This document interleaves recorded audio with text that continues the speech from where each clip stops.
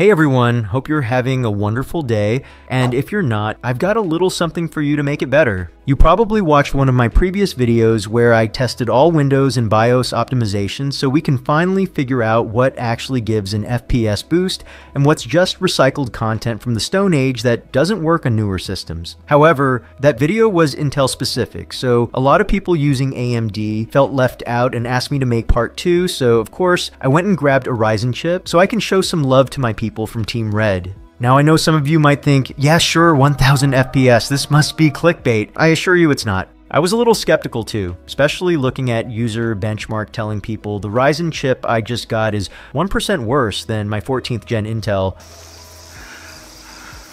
The 13600K and 14600K still deliver almost unparalleled real world gaming performance for around $200. You did? Shut the fuck up. Let me die in peace. In the last video, we tested the 17 most common optimizations, and after your suggestions for this video, we've got more than 20, so let's get to the details. We'll be using CapFrameX to capture the FPS and frame times, LatencyMon for the driver latencies, and NVIDIA FrameView so we can see the total PC latency before and after. For the sake of replicating the first video, we'll use aggregated benchmark results from Fortnite, Valorant, and Counter-Strike 2. Each setting was tested three times to avoid run variance, and here's my new system specs. Okay, I'm done with the yapping. Let's see the disclaimer.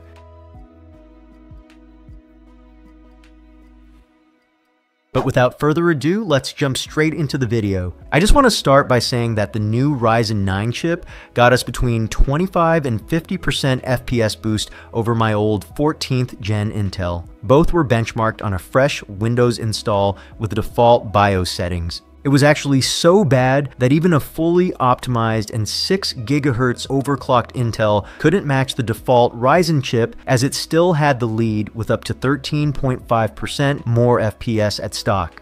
Hope that helped some of you guys that are looking to upgrade your system but are not sure what to get. Now let's start with virtualization or SVM, which also controls memory isolation within Windows. It gave us 9.6% FPS boost on average, 2.7% on the 1% lows, and minus 3% on the 0.2% lows. I didn't really notice any stuttering or major drops in the game, and I believe the 0.2% reading is incorrect, so feel free to disregard it for now. Next, we've got spread spectrum and base clock frequency. It gave us no average FPS boost, but improved our 1% and 0.2% lows by up to 11.7%. Next up is good old game mode. It gave us a 1% FPS boost on average, 1.7% on the 1% lows, and 1.5% on the 0.2% lows. Disabling C states gave us no significant FPS boost, and I personally keep it on to save some power on idle. Broke boy problems. Disabling HAGs didn't really affect our average FPS but did improve the 1% and 0.2% lows by up to 2.8%.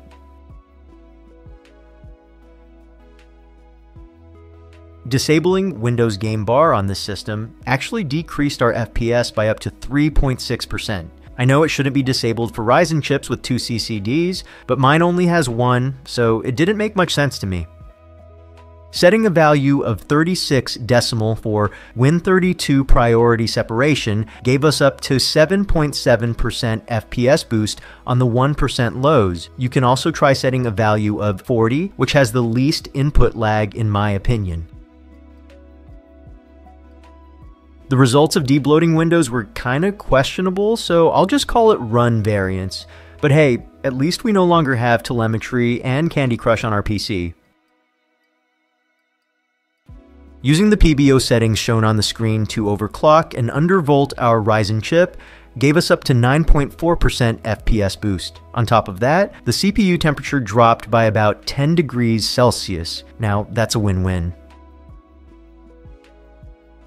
Disabling the first processor core in Process Lasso gave us no FPS boost on average, but we saw a significant improvement by up to 8% in the 1% and 0.2% lows. I'll make a video explaining how to fully configure Process Lasso very soon. Please make sure you're subscribed with notifications on so you don't miss it.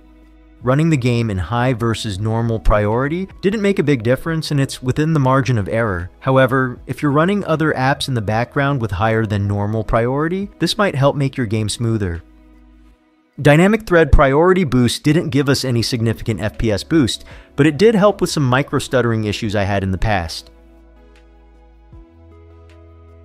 Performance mode in Process Lasso, which essentially just sets their Bitsum highest performance power plan, didn't do much and it falls within the margin of error. However, it does help with reducing driver latency, just like using high performance and unparking your cores. I have a video on this if you'd like to check it out. We already had memory isolation turned off beforehand, so turning off Windows Defender itself didn't make a noticeable difference. I also recommend keeping it running on your computer as it won't change much performance wise and will leave you vulnerable to many exploits if you remove it. I also tested timer resolution, again, to see if the results are any different when using a Ryzen chip.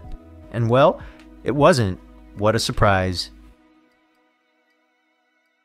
I also retested high performance versus balanced power plans, just because I heard balance works best for Ryzen processors. Short answer, with the newest BIOS and in the games tested, this doesn't seem to be the case. But now, let's test full screen optimizations. Disabling them gave us no increase in average FPS, but got a tiny boost on the 1% and 0.2% lows. The games also felt smoother overall. Surprisingly, on the Ryzen chip, we've got better results with the balanced NVIDIA control panel settings. Unlike the previous video where we tested the same on an Intel chip and got up to 2.2% FPS boost with the highest performance settings. Now, I'm not sure if this has anything to do with Intel and NVIDIA simply working better together or anything of this sort, but I'll retest every single option in the control panel in another video so we can figure out what really gives a performance boost. Anyway, turning off all Windows visual effects like transparency and animations gave us a 1.7% FPS boost on the 1% lows, which is well within the margin of error, and I would personally ignore that. Once again, we saw no major difference when using MSI or line-based interrupts mode. Additionally, most modern GPUs will come with MSI mode enabled by default. I recommend you keep it that way, as it will generally work better in most games. I also tried turning XMP and AMD Expo on, and both of them gave us exactly the same results with up to 8.8% FPS boost on the 0.2% lows. Make sure it's on in your BIOS so you can get the full performance from your RAM. Enabling game mode or turbo mode in the BIOS will only leave you with the physical cores running. It will also overclock your CPU by about 200 MHz. I recommend you use the PBO settings we mentioned instead of the game mode setting.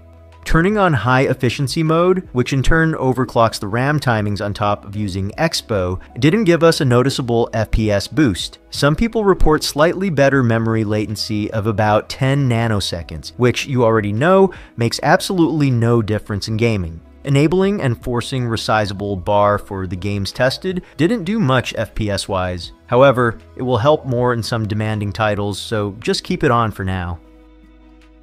Oh look, it's that time. The time for the before and after results.